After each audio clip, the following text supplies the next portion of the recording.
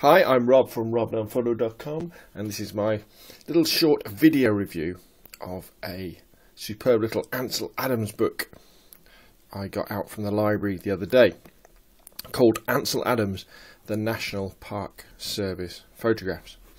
What happened was um, in the uh, early 1940s, I think around about 1941, Ansel Adams, the famous American landscape photographer, was commissioned by the uh, United States Department of the Interior to take a series of photographs of iconic American landscapes and national parks, with the idea that these photographs would then be used um, to create large murals on public buildings.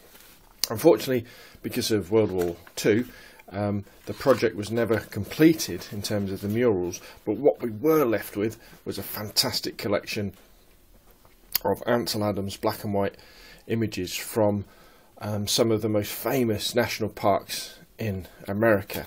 And this is what this book is it's a collection of some of those photographs. Um, a little bit of history of Ansel Adams, most famous for his pictures of things like um, Moon over Half Dome, um, uh, Yosemite uh, Park photographs, and um, we've also got in here pictures from other parts of America as well that highlight uh, Native American Indians, um, the uh, Grand Canyon, um, the Grand Tetons National Park, and things like that as well.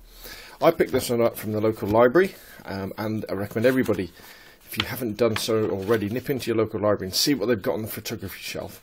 And always remember that if they haven't got something um, there, they can probably order it in for you. In the UK, there's a nominal fee, normally about 50p to get books in, but you'll find that there'll be a large book depository where they keep lots of these books, and people just don't don't get them out.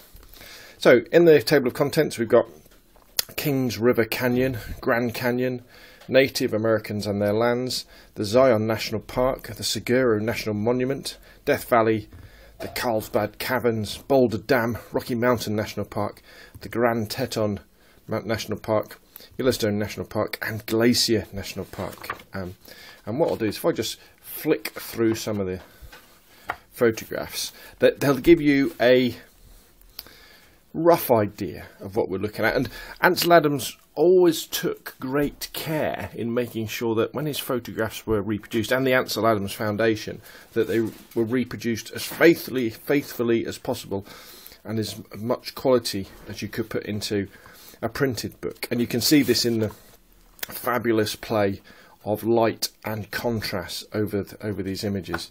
You know, you could almost reach out and touch the face of the rock and feel the texture of the sandstone.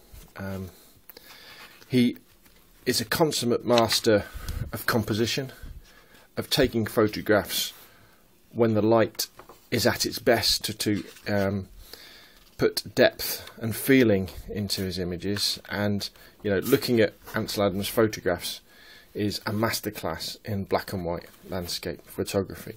There's many many great images um, in this collection many that I hadn't seen before as well. Um, great inspirational work and as I said before you know you can enjoy them for what they are which is great photographs and you can also enjoy them as objects in photographic composition, style, structure, and obviously the fantastic use of light. So there we go. Ansel Adams, the National Park Service photographs. Highly recommended, belongs on every landscape photographer's bookshelf, or if like me, you can't afford that many books, go to the library, grab a copy, and enjoy some of Ansel Adams' best work. Thank you for watching.